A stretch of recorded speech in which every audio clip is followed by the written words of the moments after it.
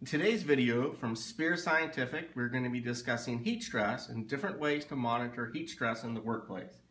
Government organizations such as OSHA have set recommended heat stress limits for various activities. OSHA has dedicated programs protecting workers from heat stress since it can cause physical harm in the form of heat stroke and other heat-related illnesses. Operations involving high air temperatures, radiant heat sources, high humidity, direct physical contact with hot objects, are strenuous physical activities that have a high potential for inducing heat stress in employees.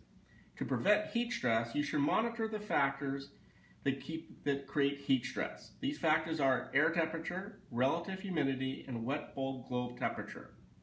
Sper Scientific offers two units, 80037 and 36, that measure wet bulb globe temperature, which provide the most accurate determination of the heat stress index based on cumulative effect of air temperature, air movement, relative humidity, and radiant heat stress. 80037 is a data logger, and 80036 is an ideal unit for going out into the field and taking immediate readings. The nice feature of the 37 is the fact that it comes with an SD card that allows you to log your information, take it back to the office, put it into your computer, and have the information automatically populate into an Excel spreadsheet. 850027, our mini environmental unit, does 12 different parameters, one of them being heat stress. Sper Scientific also offers two different monitors for measuring heat stress, 80034 and 80035.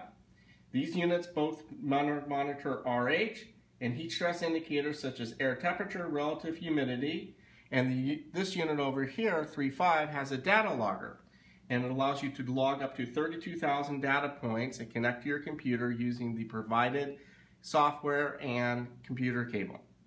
These are the five different meters from Sper Scientific that help you monitor heat stress in the workplace.